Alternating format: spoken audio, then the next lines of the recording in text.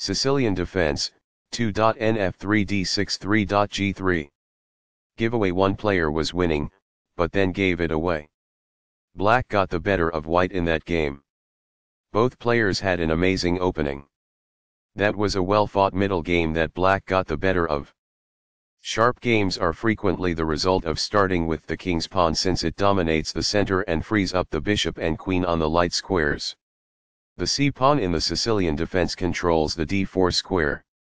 nf3 moves the knight toward the center in anticipation of a pawn push on d4, where it will be ready to retake the piece if black captures on d4. When black eventually plays nf6, white is prevented from moving the piece to e5 by the opening of the light-squared bishop on d6.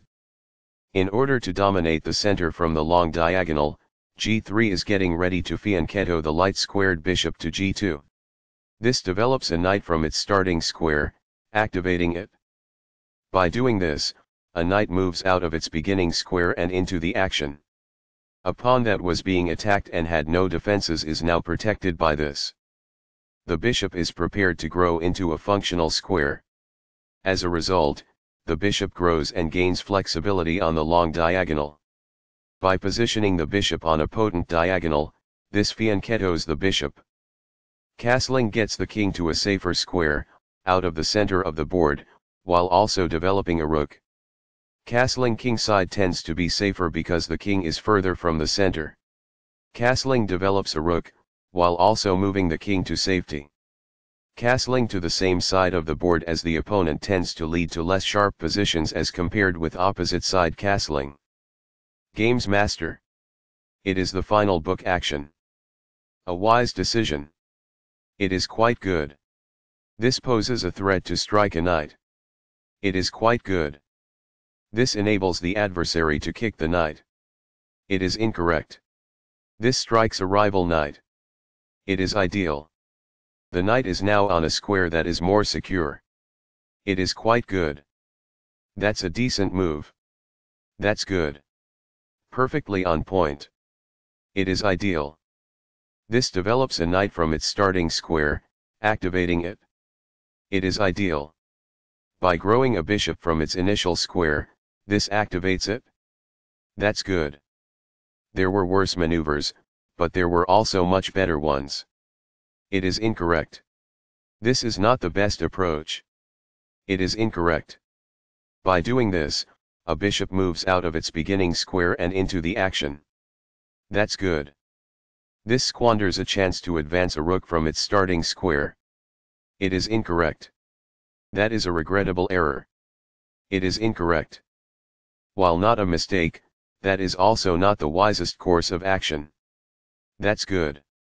A powerful play. It is quite good. Now that the rooks can see one another, they can defend one another. It is quite good. The best choice is this one. It is ideal. A rook enters the action after developing outside of its starting square as a result. That is good. Very precise. It is best.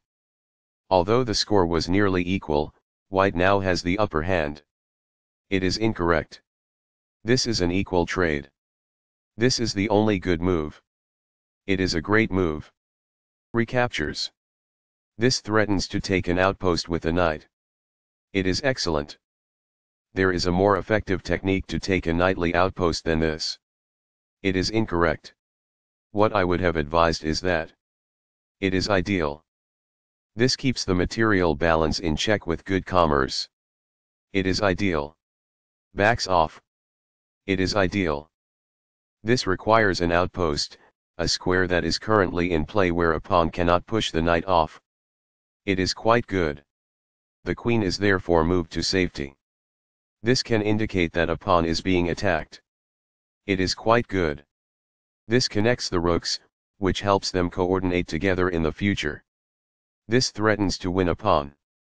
This stops the opponent from being able to reveal an attack on a pawn. It is good. Perfectly on point. It is ideal. It's alright. That's good. The best choice is this one. It is ideal. By doing this, the chance to double rooks on a single file is lost. It is incorrect. This is an equal trade. This is the only move that works. It is best. Recaptures. It is ideal. This provides an equal exchange of parts. It is ideal. It is a fair deal after all captures. It is ideal. Backs off.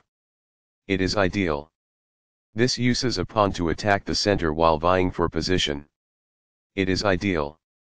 Very precise. It is best. As a result, the rooks are placed in a single file and are able to cooperate to pose a danger. It is quite good. Among the best actions. It is quite good. That pawn's capture grants you material. This poses the risk of producing a passed pawn. It is ideal. This threatens to fork pieces. This prevents the opponent from being able to create a passed pawn. It is best. This leads to losing a pawn. Only one move worked there, and this wasn't it? This ignores an opportunity to challenge the opposing rook for the open file. It is a blunder. This is the way to win a pawn. This is the only move that works. This took advantage of a mistake and black now has a winning advantage. It is a great move. That's a decent move. That's good. This raises the possibility of an eventual checkmate. It is ideal. That's what I would have recommended. It is best. Giveaway one player was winning, but then gave it away. Black got the better of white in that game. Both players had an amazing opening. That was a well-fought middle game that Black got the better of. That was a great move and very hard to find. It is brilliant.